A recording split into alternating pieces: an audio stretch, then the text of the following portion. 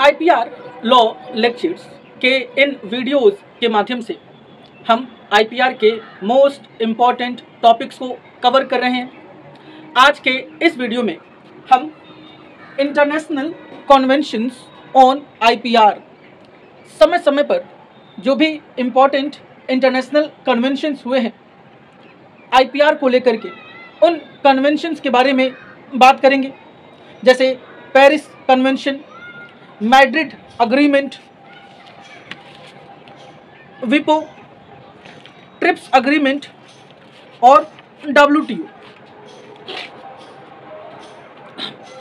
ये video intellectual property rights के ऊपर लास्ट वीडियो है। और हमने आईपीआर के जितने भी इंपॉर्टेंट टॉपिक्स हैं, उन सभी टॉपिक्स को कवर कर लिया है। ऑलरेडी कंप्लीट आईपीआर के ऊपर दो वीडियोस पड़ा हुआ है। तो आप उसे भी देख सकते हो। तो चलिए this is last video on IPR और आज के इस लेक्चर में हम आईपीआर का जो सबसे इंपॉर्टेंट टॉपिक है इंटरनेशनल कन्वेंशंस एग्ज़ाम में ये क्वेश्चन पूछा ही जाता है। लॉन्ग क्वेश्चन ठीक है? चलिए। सबसे पहले हम बात करेंगे पेरिस कन्वेंशन के बारे में। इस पर्टिकुलर टॉपिक का जो नोट्स है, वो ऑलरेडी टेलीग्राम चैनल पर पड़ा हुआ है तो वहाँ से आप डाउनलोड कर सकते हो। पेरिस कन्वेंशन, देखो, Paris convention held mainly for the protection of industrial property और इसका, इस कन्वेंशन का पूरा नाम क्या है? Paris convention Paris convention for protection of industrial property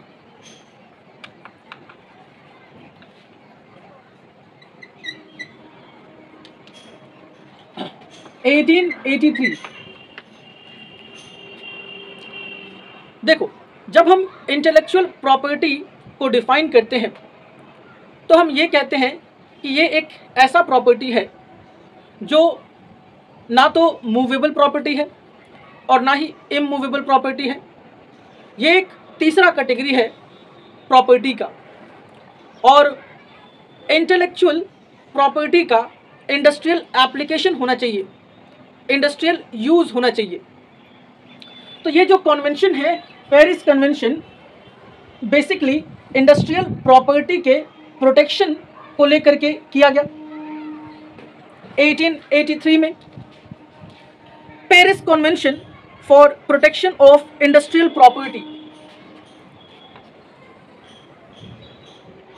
तो ऐसे इंटेलेक्चुअल प्रॉपर्टी जिनका इंडस्ट्रियल एप्लीकेशन है, इंडस्ट्रियल यूज़ है तो उनके प्रोटेक्शन के लिए जो कन्वेंशन किया गया, वो है पेरिस कन्वेंशन 1883 में। And it was signed in Paris France on 20 March 1883 और क्योंकि ये जो कॉन्वेंशन हुआ, वो फ्रांस के शहर पेरिस में हुआ, इसलिए हम इसे पेरिस कन्वेंशन कहते हैं। और ये जो कॉन्वेंशन है, वो साइन किया गया 20 मार्च 1883 को 20 मार्च अठारह सौ तिरासी को। It was one of the first intellectual property treaties तो इंटेलेक्चुअल प्रॉपर्टीज़ को लेकर के जो पहला ट्रीटी था, वो था पेरिस कन्वेंशन इसलिए ये कन्वेंशन इंपॉर्टेंट हो जाता है। ठीक है? और ये जो कॉन्वेंशन है पेरिस कन्वेंशन ये अभी भी क्या है? फोर्स में है। Paris convention is administered by विपो बेस्ड ऑन जिनेवा स्विट्जरलैंड तो पेरिस कन्वेंशन इसका एडमिनिस्ट्रेशन किसके द्वारा होता है? विपो के द्वारा होता है। वर्ल्ड इंटेलेक्चुअल प्रॉपर्टी ऑर्गेनाइजेशन जिसे हम आगे समझेंगे।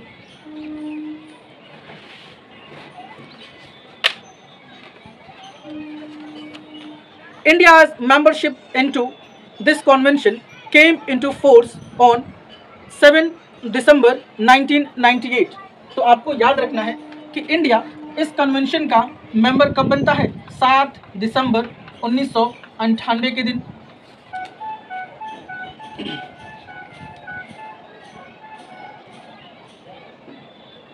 ये जो पेरिस कन्वेंशन है, इसका मेनली फोकस पेटेंट पर है। ठीक है? तो हम कह सकते हैं कि पेरिस कॉन्वेंशन मेनली पेटेंट को लेकर किया गया। This convention was based on three aspect ये जो कॉन्वेंशन है पेरिस कॉन्वेंशन ये तीन एस्पेक्ट पर बेस्ड है। या हम कह सकते हैं कि इस कॉन्वेंशन के तीन पिलर्स हैं। पहला नेशनल ट्रीटमेंट दूसरा राइट ऑफ़ प्रायोरिटी तीसरा इंडिपेंडेंस ऑफ़ पेटेंट तो आइए इन तीनों को समझ लेते हैं। सबसे पहले है national treatment national treatment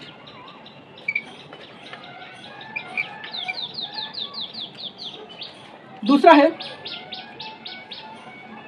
right of priority right of priority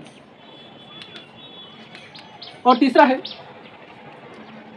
independence of patent independence of independence of patent These are what? These are three pillars of this convention. सबसे पहले हम बात करेंगे नेशनल ट्रीटमेंट के बारे में नेशनल ट्रीटमेंट देखो national treatment it was based on no discrimination policy treatment given to founding members shame will be given to member countries also. National treatment का मतलब क्या है? नेशनल ट्रीटमेंट का मतलब ये है कि जो भी प्रिविलेजेस जो भी बेनिफिट्स फाउंडिंग मेंबर्स को दिए जाएँगे, वही ट्रीटमेंट मेंबर कंट्रीज़ को भी दिए जाएँगे। तो this is known as national treatment दूसरा क्या है? Rights of priority the priority rights provides anyone who has failed sorry who has filed a first patent application in a country in which convention is in force तो ये जो rights of priority है इसके तहत basically anyone who has filed a first patent application in a country in which this convention is in force तो मान लो, इस पर्टिकुलर कंट्री में इस कॉन्वेंशन के जो प्रोविजंस हैं या ये जो कॉन्वेंशन है, वो फोर्स में है। जैसे इंडिया में ये कॉन्वेंशन फोर्स में है। तो वो कंट्री जिसमें ये कॉन्वेंशन ऑलरेडी फोर्स में है, उसे ये पहले प्रायोरिटी देगी। Right right. अगर वो पेटेंट के लिए एप्लीकेशन फ़ाइल करते हैं तो तो ये क्या है? राइट्स ऑफ़ प्रायोरिटी यानी priority rights are given to the founding members as well as member countries तो राइट्स ऑफ़ प्रायोरिटी तीसरा क्या है? Independence of patent a property which is patented by a member country need not be patented by other countries India's membership into this convention came into force on December seven 1998. तो एक ऐसा property जो member country में patented है ठीक है? A property which is patented by member country need not be patented by other countries तो simple ये कंट्री है जो पेरिस कॉन्वेंशन का या जिस पे पेरिस कॉन्वेंशन लागू होता है, जो पेरिस कॉन्वेंशन को फॉलो करता है, इसमें किसी प्रॉपर्टी को पेटेंट करा रखा है। तो इसका जो मेंबर होगा या इसका जो फ्रेंड कंट्री होगा, उसे जो है पेटेंट नहीं कराना पड़ेगा। राइट। तो ये क्या है? इंडिपेंडेंसी ऑफ़ पेटेंट है। तो ये चीज़ अवेलेबल है मेंबर कंट्रीज़ को कि अगर कोई उनका प्रोडक्ट है जो कि पेटेंटेड है तो उसे दूसरे मेंबर कंट्री में पेटेंट नहीं कराना पड़ेगा। बिकॉज़ ऑल आर मेंबर्स सभी क्या हैं? पेरिस कॉन्वेंशन के मेंबर्स हैं। अब हम बात करते हैं मैड्रिड अग्रीमेंट के बारे में। Madrid agreement.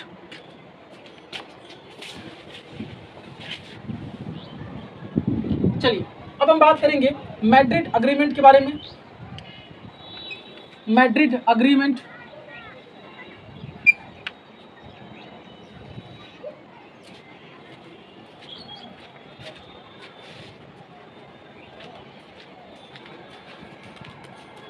This agreement was established in 1891 for the purpose of providing mechanism that would allow for a single and inexpensive international trademark registration. तो याद रखना मैड्रिड अग्रीमेंट बेसिकली ट्रेडमार्क के ऊपर किया गया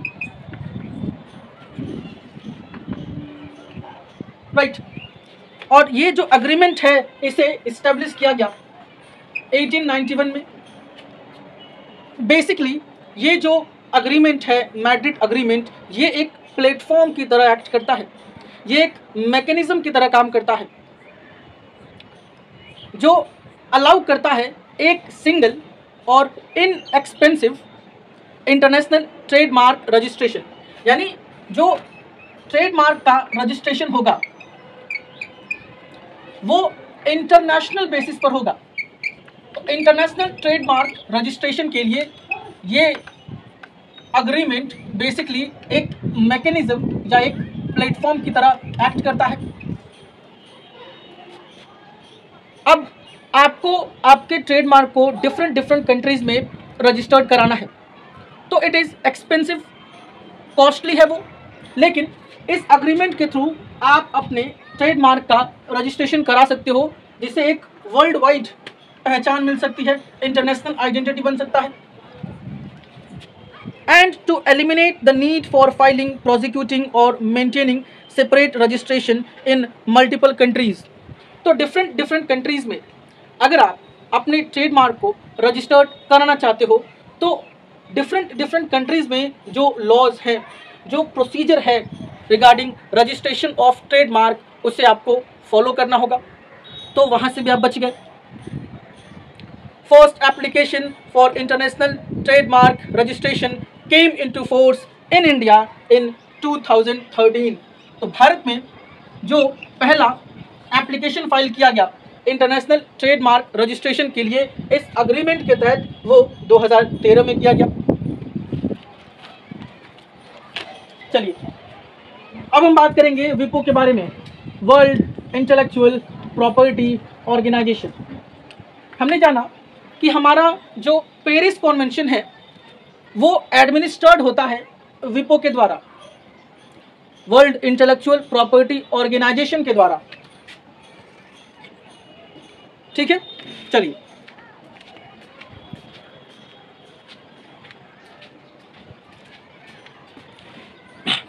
विपो is one of the sixteen specialised agencies of UNO United Nations Organization का सोलहवा specialized agency है। इसे स्थापित किया गया था 1967 में, उन्नीस सौ सड़सठ में, जिनेवा, स्विट्जरलैंड में।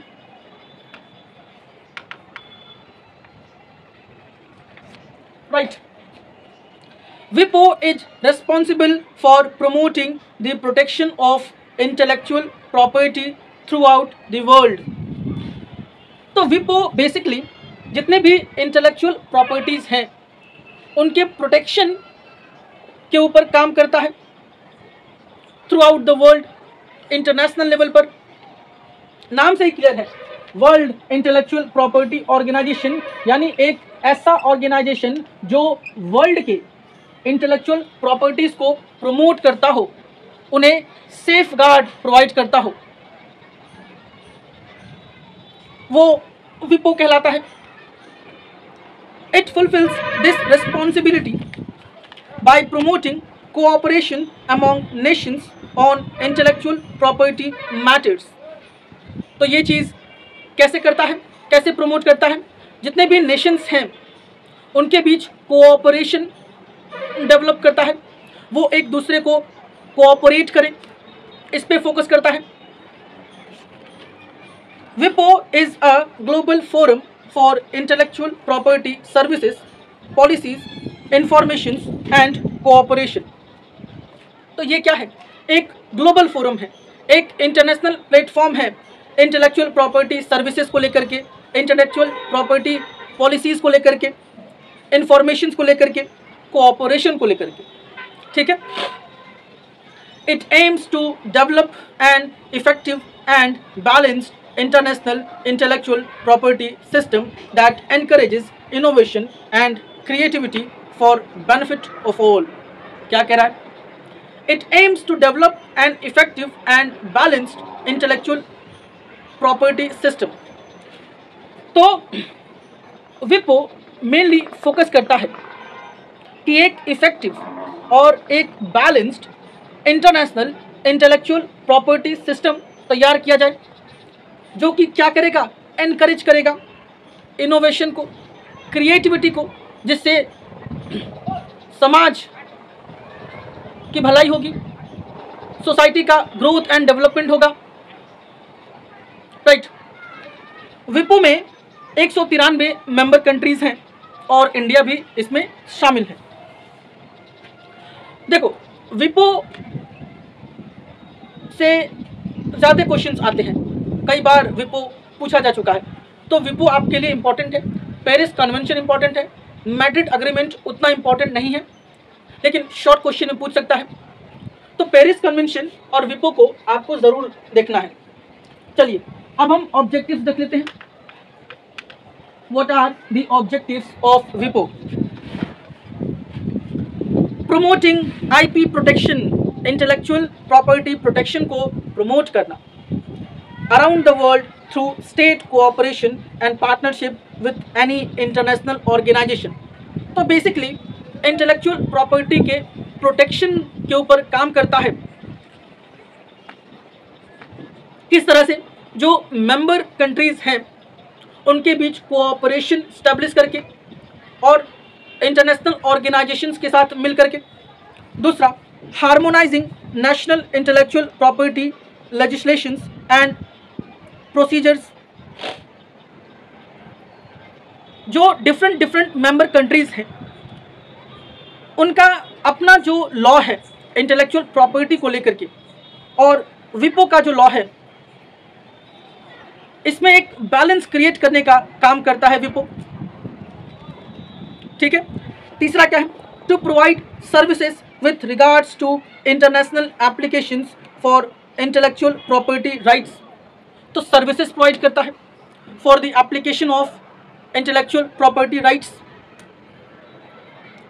for exchanging information on IP to provide legal and technical assistance concerning IP to developing and other countries जितने भी डेवलपिंग नेशंस हैं, जितने भी विकासशील देश हैं, उन्हें technical assistance technical help provide करना ताकि वो भी क्या करें, अपने देश में इंटेलेक्चुअल प्रॉपर्टी को प्रमोट कर सकें और आगे बढ़ सकें। ठीक है? तो ये है वर्ल्ड इंटेलेक्चुअल प्रॉपर्टी ऑर्गेनाइजेशन इतना एक्सप्लेन कर दोगे तो ये अपने आप में सफिशियंट है। ठीक है? चलिए, अब हम बात करेंगे ट्रिप्स अग्रीमेंट के बारे में। अब हम बात करेंगे ट्रिप्स अग्रीमेंट के बारे में। TRIPS agreement TRIPS agreement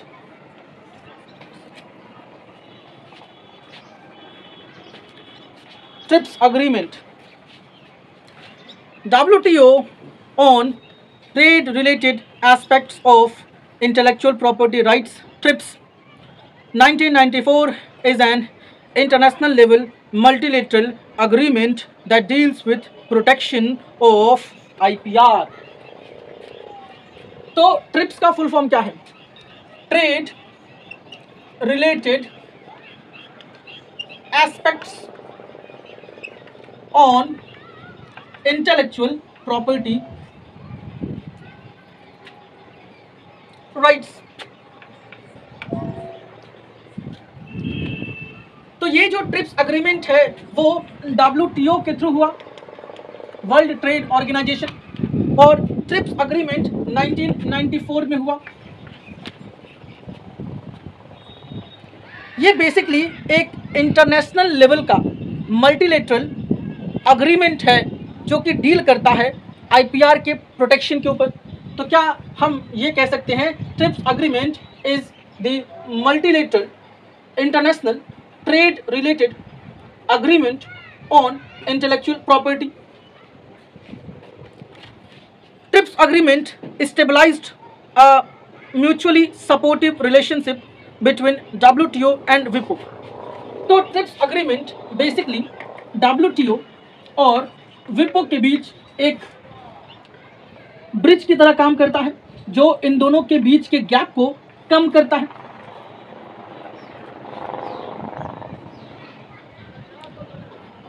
TRIPS agreement stabilised a mutually supportive relationship between W and विपो as well as other relevant international organisation तो क्या हम कह सकते हैं कि इस अग्रीमेंट में डब्ल्यूटीओ के कुछ प्रोविजंस हैं और विपो के कुछ प्रोविजंस हैं? और इस तरह से ये एक ब्रिज की तरह काम करता है। विपो और डब्ल्यू के बीच। Every members of WTO is required to observe provisions of TRIPS and provide minimum level of IP protection in their national laws ठीक है? तो जो भी मेंबर्स हैं डब्ल्यूटीओ के। ट्रिप्स अग्रीमेंट के थ्रू उन्हें क्या करना है? अपने नेशनल लॉ में, अपने लेजिस्लेचर में इंटेलेक्चुअल प्रॉपर्टी के प्रोविजंस के रिगार्ड में इंटेलेक्चुअल प्रॉपर्टी के प्रोटेक्शन के रिगार्ड में प्रोविजंस लाने हैं। यानी लॉज बनाना है अपने नेशन में इंटेलेक्चुअल प्रॉपर्टी के प्रोटेक्शन के लिए। जितनी भी डब्ल्यूटीओ के मेंबर कंट्रीज़ हैं TRIPS agreement is an international agreement administered by WTO that sets down minimum standards for many form of IP regulations. ठीक है? तो किस तरह से आप इंटेलेक्चुअल प्रॉपर्टी को रेगुलेट करोगे? किस तरह से इंटेलेक्चुअल प्रॉपर्टी का प्रोटेक्शन किया जाएगा? ये चीज़ डिसाइडेड है ट्रिप्स अग्रीमेंट में और इसका एडमिनिस्ट्रेशन किसके द्वारा होता है? डब्ल्यूटीओ के द्वारा होता है। डब्ल्यूटीओ के जो मेंबर्स हैं, वो ट्रिप्स अग्रीमेंट के तहत अपने नेशन में उनका जो भी लॉ होगा, उसमें वो स्टैंडर्ड सेट करेंगे। किस तरह से इंटेलेक्चुअल प्रॉपर्टी को अपने देश में वो प्रोटेक्ट कर सकते हैं, उसे बढ़ावा दे सकते हैं। It was negotiated at the end of Uruguay round of general agreement on trade and tariff GATT in 1994 तो ट्रिप्स अग्रीमेंट को Uruguay Uruguay round of general agreement on trade and tariff में इसे नेगोशिएट किया गया, इसे लाया गया, इसे अडॉप्ट किया गया। TRIPS agreement introduced intellectual property law into international trading system for the first time and remains the most comprehensive international agreement till date क्या कहता है? TRIPS agreement introduced intellectual property law into international trading system तो ये एक ऐसा agreement है, नाम से ही क्लियर है.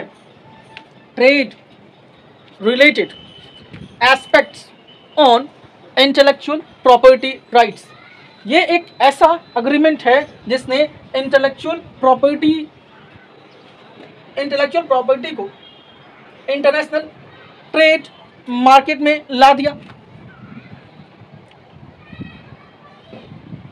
Right right. तो ये है ट्रिप्स अग्रीमेंट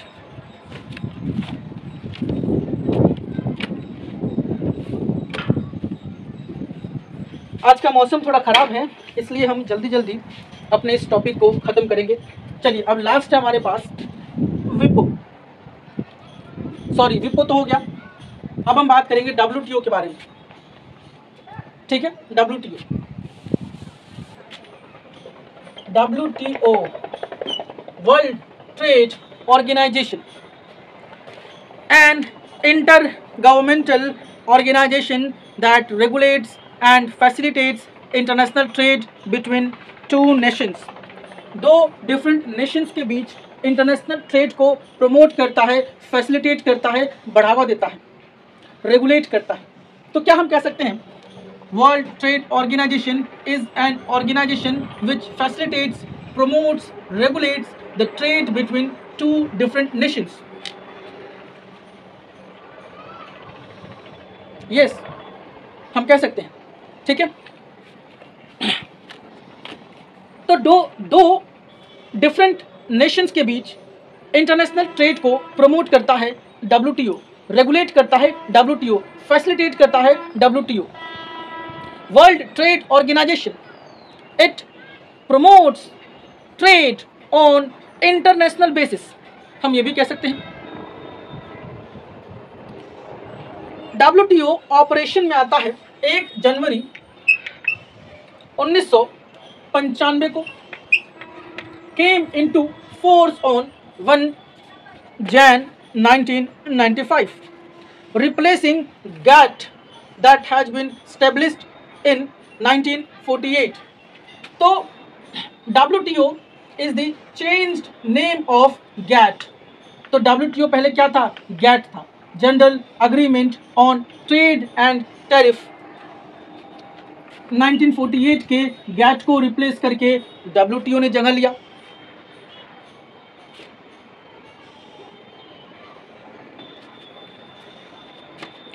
हेड ऑफ़िस कहाँ है? जेनेवा स्विट्जरलैंड में है। टोटल मेंबर कंट्रीज़ एक सौ चौंसठ हैं, जो कि पूरे ग्लोबल ट्रेड या ग्लोबल जीडीपी का 96 परसेंट रिप्रेजेंट करती हैं। तो सोचो, अपने आप में ये ऑर्गेनाइजेशन कितना बड़ा है? ये ऑर्गेनाइजेशन इसमें टोटल एक सौ चौंसठ मेंबर कंट्रीज़ हैं, जो वर्ल्ड ट्रेड के या ग्लोबल जीडीपी के, ग्लोबल जीडीपी के 96 परसेंट को रिप्रेजेंट करती हैं। As an important member of W India has been in forefront of framing fair global rules regulations and advocating the interest of